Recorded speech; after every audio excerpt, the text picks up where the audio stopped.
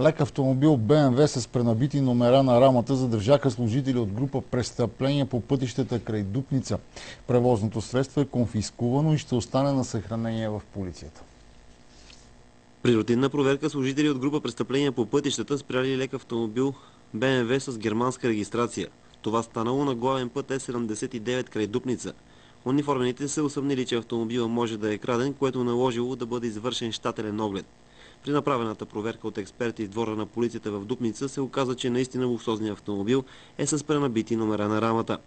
25-годишният Стоян Колев от Бургас се управлявал лимузината. Пред камерата на телевизия Запад той заяви, че БМВ-то е на негов приятел. Ситуацията се случи както си карах, набирах телефона. Купона почна в София, а свърши в Банско. А, ма ще приключи в Дупница. Имам в Банско много важни срещи делови.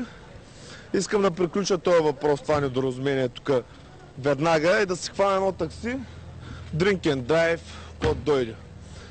Ще отида в Банско, ще свърша работа и се прибера и се наспа. А този автомобил да остава тук, той не е мой дори. На мен ми беше даден от един приятел, той е полицай. Даде ми автомобила, снима полицейски стикер. Така че не може да става въпрос за никакви престъпления. Полицая е от... А, няма значение от къде е сега. Кога да. говорим тук за... А той ви е приятел. Той ми е приятел, да. Коя година е колата? Колата е 2005 година. BMW 7 серия. 730 дизел, чипосана. Колата е иззета с протокол за доброволно предаване и ще остане на съхранение в полицията, докато не приключи разследването по случая. Колата остава конфискувана, колата струва 30 000 лея. Мен не ме бърка, тя нито е моя, нито аз загубя нещо.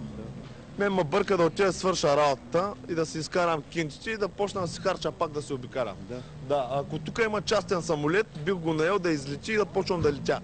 Стоян Колев се определи като актьор, който след няколко дни ще да пътува за Холивуд, където ще вземе участие в високобюджетен екшен филм.